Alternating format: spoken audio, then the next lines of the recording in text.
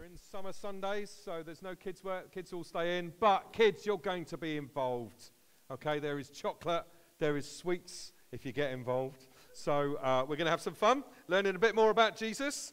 Um, we've been going through a series um, in the Bible on Romans 5, verses 1 to 5. The first few verses of Romans 5, 1 to 5. We've called it Five Alive, and it's all about living uh, in the fullness of what Jesus has got for us. So Daniel is going to read the scripture for us. Come on, Daniel. Good lad. Do you want me to hold the mic? Yeah, go for it. Therefore, since we have been justified through faith, we have peace with God through our Lord Jesus Christ, through whom we have gained access by faith into this grace in which we are now sta- which we now stand. And we rejoice in the hope of the glory of God. Not only so, but we also rejoice in our sufferings, because we know that suffering produces perseverance, perseverance, character, and character, hope. And hope does not disappoint us, because God has poured out his love into our hearts by the Holy Spirit, whom he has given us. Thank you very much. Well done. Brilliant. So today's message is all about the fact that hope comes full circle. So every part of our lives, if we love Jesus, we've got hope. Okay, in the good times, in the tough times, when we're enduring, when we're having character building, hope is always there for us. So, um, we are going to look into that. I just need to get my little bits. So, I am ready. Wonderful. Right. So, have we got a PowerPoint? Thank you. So, just because we're in that middle bit, I just want to quickly recap where we're at in the series. So, when we start following Jesus, we come to a point in our lives when we start following Jesus. For some of us, it's a process. For some of us, it's an event at a holiday club or an alpha or a Bible week or something like that. We've come to Christ. But for some of us, it's a process. But there's that point when we start believing in Jesus. And when we start believing in Jesus, we are justified by faith, which is a really long word. Not a word that we generally use much in English. And when we do use it, we often use the other meaning of it. The word means just before God. We are not guilty. And not just that, we're also declared righteous. Okay? And the tense that's used there is that it's boom. At that point, you become just before God, but you still are. It's amazing. All right? First thing in that passage. Second thing in that passage is that we have peace with God. God gives us peace. We were once enemies with God, now we're at peace with Him. And I think when I did that sermon, I said peace stood for positioned eternally at Christ's expense. Okay? We have peace with God. Our position is that we are just and that we have peace with God forevermore. Isn't that good? Yeah? Christine thinks it's good. Anyone else think that's good? Yeah, come on, it's good, isn't it? And then Warren helped us to see that we have access by faith. He had a bunch of keys, didn't he? Do you remember that poor child that came up and was trying to unlock the cabinet with all the keys? And then needed the one key. See, faith gives us that key that we have access by faith into this thing that we stand in, and we stand in grace. Do you remember? Poor Elodie was standing in baked beans. Re- yeah, it was good, wasn't it? You enjoyed it. Come on, you're smiling. She was standing in baked beans, representing standing in our own works. We don't want that. We want to stand in grace, don't we? And so we get to stand in grace. We get to stand in God's favor. And then we got in the series to the fact that we rejoice in the hope of the glory of God. We're rejoicing. We're anchoring our joy in the future hope of what Jesus has done. Amazing, isn't it? And then, more than that, we rejoice in our sufferings. Sufferings grow us. I don't like suffering. I don't like some of the seasons of life that I've gone through and that we're even going through right now. I'm not, I'm not enjoying them, but I know that God is at work. And so I can rejoice that God works in the good times and the bad times. He's at work because He's building endurance. He's building resilience. He's building strength. He's building, therefore, character. And because He's changing us and building our character, making us more loving, making us more kind, making us more empathetic to others, that also leads to hope. Okay? And God is building hope in us. And so it's kind of like a full circle because we start with hope. We rejoice in the hope of the glory of God. We're going through suffering. We're going through endurance. We're getting our characters building. And it comes back to hope. And hope does not disappoint us, doesn't put us to shame because God's love has been poured out in our hearts. Now, I'm not going to steal next week's thunder for God's love or the week after that for the fact that the Holy Spirit is poured out into us. So, we're going to talk about how hope does not put us to shame. Hope is steadfast and it's sure. Okay? So, let's have a look. Do we need to go to the next slide? Yeah, we do. So, there is a difference between what the world calls hope and what the Bible calls hope. So, some of the things that people hope for, what would they be? Let's have a look. We've got a thing here. So, people in the world, they hope for, oh, nice house. Hope that one day I'll get a nice house. Hope that I'll win the lottery. Fat chance of that. The house always wins. I hope that there'll be a banquet to eat when I get home for lunch. Kids, what's that? You can't see it, can you? What's that? PlayStation. Are you hoping for a new PlayStation? Always. Mum says, oh, Arlo, that is an upside down trophy. You've got lots of them. Okay, so he doesn't need to hope for that. He's got them already. A new bicycle. Uh, a new car, Cameron. Uh, oh, love. Some people are hoping for love. Uh, and then back to the house. Okay, so what I need is a couple of children. Yeah, come on then. Little children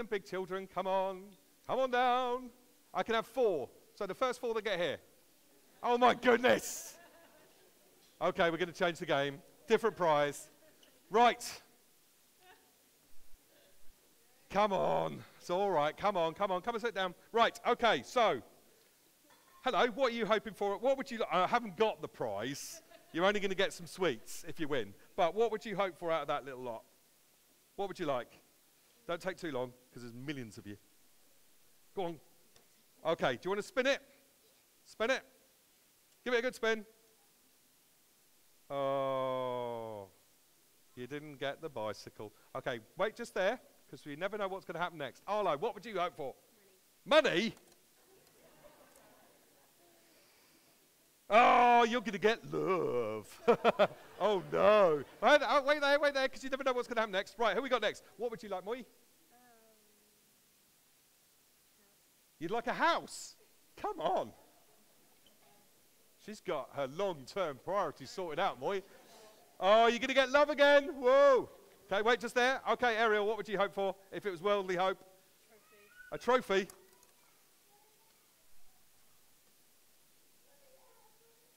Fast car. Yeah, you'll take that instead. Go on, way over there. Right, go on then. What would you like to hope for? Banquet. A banquet. You got your priorities straight, mate. Oh, he gets money. Ah. Oh. Go on then. What do you hope for? Money. money? Go on, go for it. Give it a spin.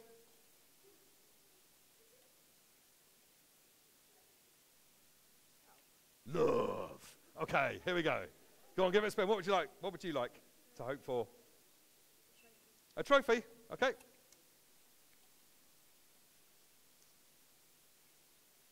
Love. The love's popular. There's not weighted, by the way. Right, what would you like, sweetie? You'd like a fast car? No? Yeah, fast car? Give it a spin then.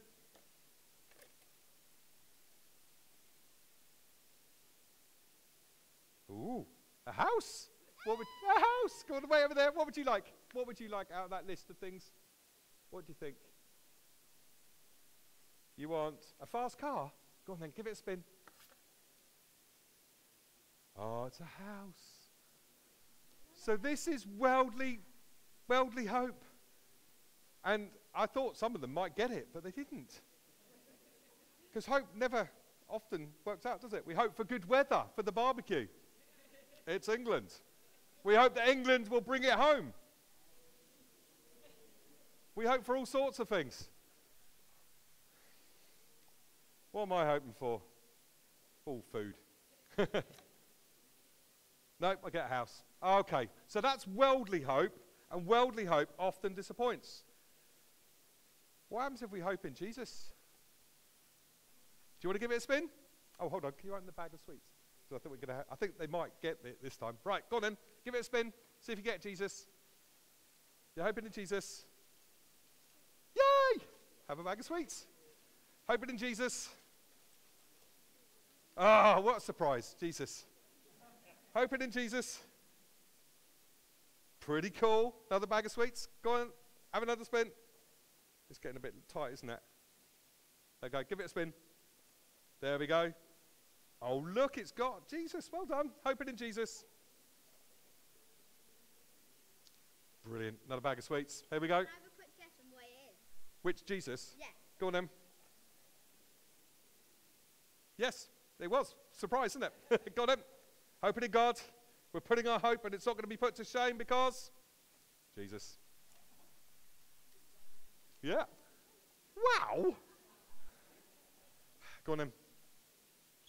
There we go. Another sweetie bag. Right, so worldly hope doesn't always match up. People hope for all sorts of things and they don't get it. But when we put our hope in Jesus, hope does not put us to shame. When we put our hope in Christ, okay, it doesn't put us to shame. Beautiful. Wow. Love YouTube. Excellent. So good. Right. So, biblical hope is so much stronger than worldly hope because biblical hope is based on something much more steadfast, much more secure. Hebrews 6, verse 19, which is the next slide, says this This hope is a strong and trustworthy anchor for our souls. It leads us through the curtain into God's inner sanctuary. When we hope in Jesus, it's a steadfast anchor. Oh, on a ship, when it's getting blown about, they put the anchor down and it holds it safe and secure. Our hope in Jesus will never put us to shame. Okay, it's a steadfast, it's a strong and trustworthy anchor. And it will lead us, it says there, it'll lead us through the curtain into God's inner sanctuary. It takes us back to Warren's message about access by faith. When Jesus died on the cross, the temple curtain was split in two. And the curtain used to stop people going into the most holy place, the place where God's presence dwelt. And that temple curtain was torn in two permanently from top to bottom. Okay, we have access. And our hope gives us access into the presence of God continuously and permanently and forevermore. Our biblical hope is a sure and steadfast anchor. Now, if you know your Bibles, you will know that there is a verse in the Old, Old Testament that's slightly uncomfortable when it comes to the word hope. Proverbs 13, verse uh, 12 says this Hope deferred makes the heart sick, but a longing fulfilled is a tree of life. It's a kind of little bit of a bit of an objection, isn't it? Because in our lives, when we're going through suffering, which was in our passage, when we're in a time when we've got to endure, when we're in a time when God is building character in us, it's easy to lose hope. The thing that we've been praying for, the thing that we've been looking to the Lord for, and it seems to be ever far away. Hope deferred makes the heart sick. You think of Abraham in the Old, in the Old Testament. He was promised that he was going to have children innumerable. He's 75 years old. He's hitting 90, and he's still waiting for the promise. Hope can disappear at that point when you're waiting a long time for the thing that you've been praying for. Hope deferred makes the heart sick. And yet, our New Testament scripture tells us that we start by rejoicing in hope, and we rejoice in suffering, we rejoice in character, we rejoice as characters, be, uh, rejoice in uh, Uh, endurance being built, because suffering leads to endurance, leads to character, leads to hope. We're rejoicing in all of that. Hope comes full circle. So, how do we reconcile it all? What is the Lord doing? Some of you may have lost hope for certain things. Some of you might be going through a season where it's tough. And I think what's got, what, what this scripture here is showing us is that there's a bit of a battle sometimes to life where Satan wants to rob us of joy, wants to rob us of hope, wants to lie to us and tell us it's not going to happen. Won't be able to press through. So I find another scripture, next slide, quite helpful. Proverbs 25 2 says this It is the glory of God to conceal things, but the glory of kings to search things out. Sometimes the Lord hides things so that we've got to search for them. And He hides them for us, not from us. Okay? He hides them for us, not from us. Sometimes we've got to press through. Sometimes we've got to pray. Sometimes we've got to seek the Lord. We've got to find it. We've got to find, you know, the hope again. So, kids, this time, uh, oh, I've got, how many sweets we got? We've got a few left. Okay, we've got a bit of treasure left. So, what I need is some, some couple of kids, because I think you need to work in teams, and they need to be little kids this time, maybe with a bit of help from an older kid. You're an older king, but you're always volunteering. Have I got any kids to help? There's one. Are you gonna, do you want to do it? No, she doesn't. Right, come on then. First small child to run down here gets to play this game. Here we go. Come on then. Well done. You see, if you're outside playing, you miss out on the treasure. I know. They're, right, okay. So, I've got a series of clues. Because God sometimes, He hides things for us. So that we've got to search them out. We've got to seek them out. And in seeking them out, we grow, and we grow in the character, we grow in the endurance, we grow in, in, in hope, and all those things. Are you good at reading? Are you good at working out puzzles? Right, there you go. There's clue number one. Open it up and follow what you've got to do, and then see what happens when you get to clue number six. All right? We shall carry on while she's doing that. So, the Lord. What's it say?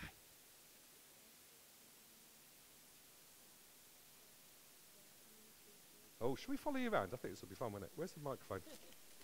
We got a microphone somewhere? Oh, there it is. Right. Do you want to read that clue out?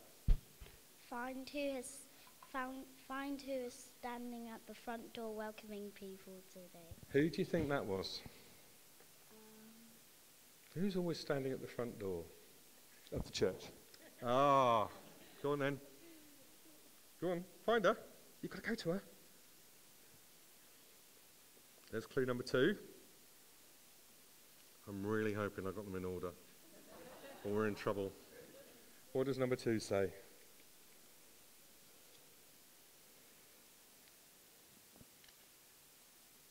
Who is playing the guitar today. There's a slight flaw in the plan, but yeah. Find the person who was singing, not the person who was playing. who was singing? Normally plays the guitar. Who was singing today? Who was singing today? There we go. Okay, what's the next clue? See, sometimes the Lord hides things for us. He wants us to press on in prayer. He wants us to press on in Scripture. He wants to press on in fellowship. He's got treasure hidden for us somewhere.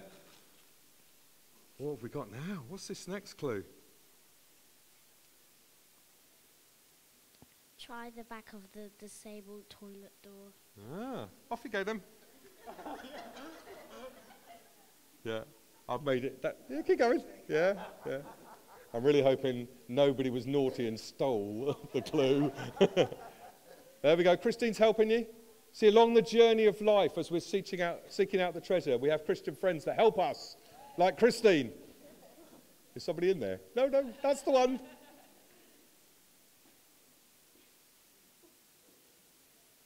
Have we found a clue? It was there five minutes ago. That's good. Okay, come on, run over. What's the clue say? So, Christian life, we're looking for the treasure. We're praying. We're seeking. We're getting other Christians to help us. We're opening the next envelope. God is hiding treasure for us, not from us. Here we go.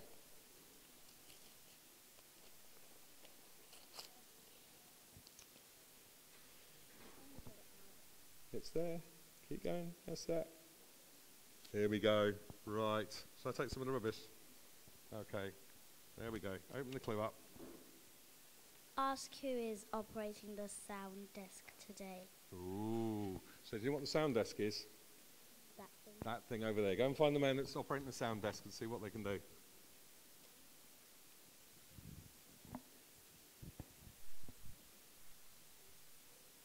Oh, excellent. Come on in.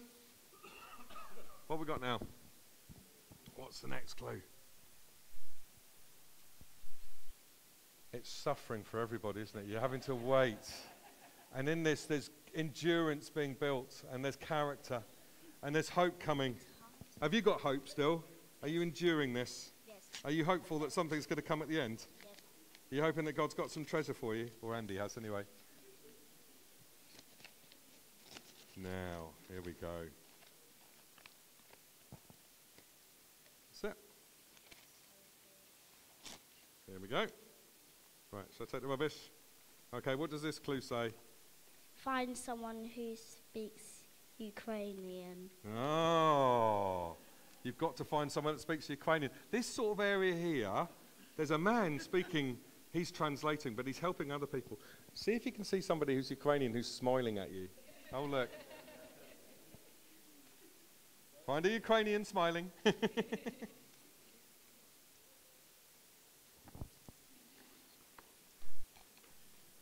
That's it. We're not going to take forever. Okay, do you want to open up the clue?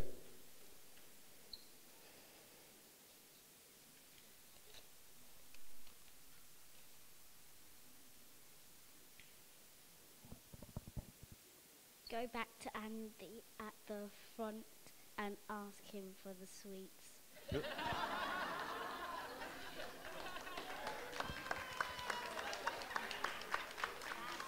Oh, yes, of course you can. Right. Now, you've got a choice.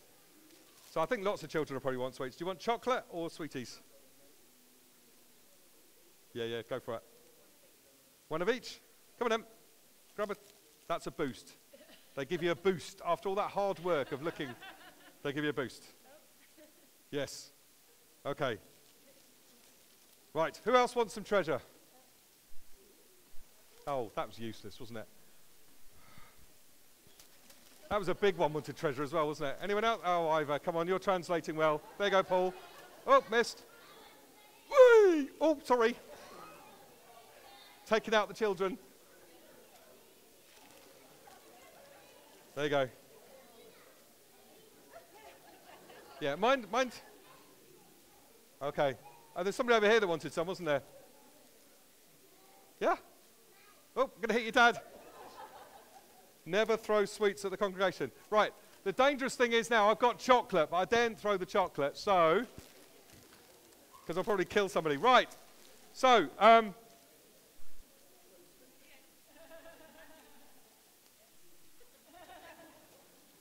what's the Bible say about asking? Asking you'll receive. What are you doing holding your mum's hand down? That's not nice. There we go. Right, got last one. You've got sweets in your hand. Right, it's not school. You don't have to stick your hand up. What you have to do is come down quickly and say, Andy. Oh, no, that's a big mistake, isn't it? Oh, oh no. Oh, too slow. Right, brilliant. Well done, everybody. Okay, I think my expectation is that, that, that people who got Haribos might share them. Uh, if not, I might have some. Yeah, I've got some mints.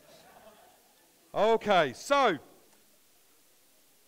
part of the Christian life is that we do go through stuff, don't we? We go through suffering, and suffering is intended to.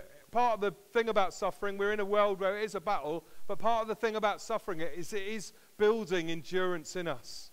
The Lord is hiding that for us. We can find endurance, and as we find endurance, we grow in character.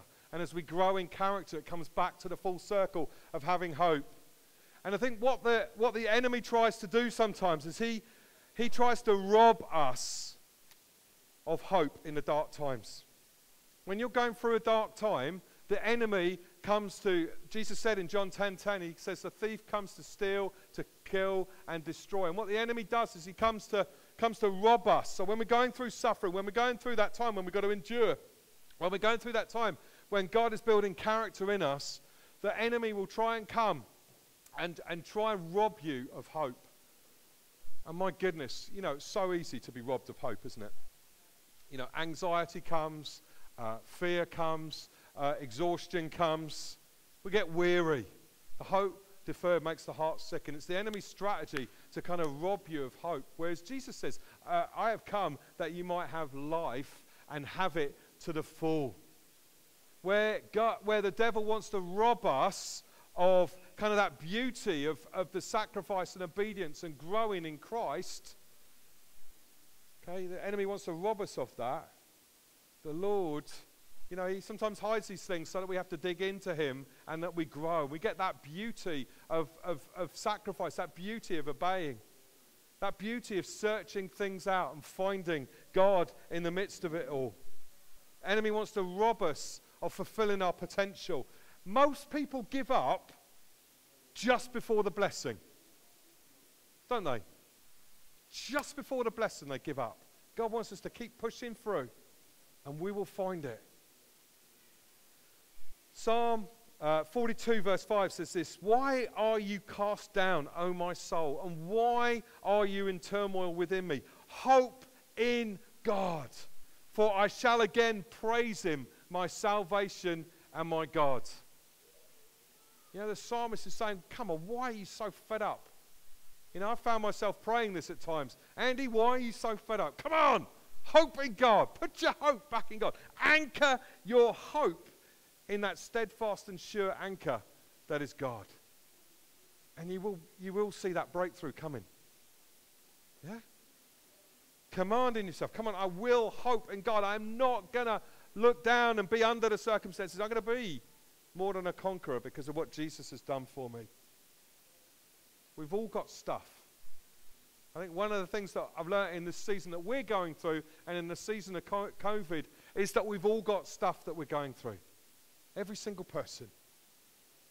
There's all things that are going on in people's lives, whether there's loss.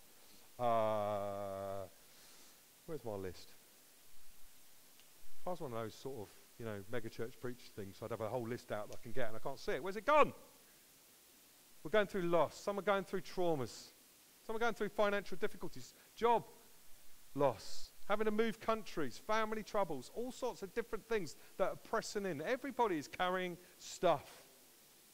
But in every circumstance, the Lord is also preparing a table for us. Psalm 23, verse 4 says that He prepares a table in the midst of our enemies. He prepares a table before us. God has this delight. We can grow in hope in every phase of life in the suffering, in the endurance, in the character, in the hope. But sometimes He wants us to search for it. He wants us to dig deep. He wants us to press in to what He's got for us. So I think what I want you to know today, what I want us to go away with today, is that there's always hope. Hope comes full circle in every everything. When you're on the top, there's hope. When you're at the bottom, there is hope. Whatever we're going through, there is hope. God always breaks through with hope, and He wants us to search it out and, and, and, and press into it. And I felt this morning, kind of a little bit of a gear change, jumping probably to two verses ahead. I felt this morning that the, the Lord wanted to minister to each and every one of us. Felt God wanted to uh, bring an impartation of the Spirit afresh to us this morning.